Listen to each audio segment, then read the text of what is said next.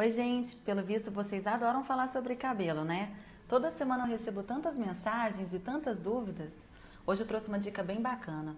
Sabe aquele dia que você lava o cabelo, você pega seu condicionador e seu shampoo mais caro que você tem, lava o cabelo e parece que ele não fica lá essas coisas?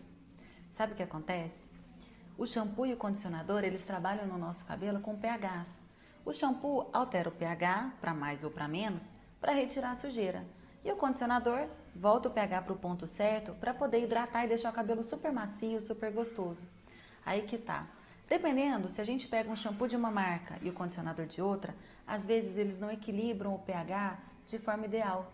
E aí parece que o cabelo fica meio basé, meio embaçado, meio rebelde, meio com frizz, não é verdade? Pode reparar.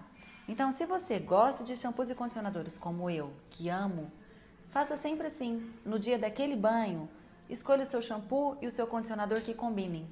Evite ficar misturando demais. O resultado vai ser muito melhor, eu garanto. Faça o teste aí, depois me conta, tá? Beijos!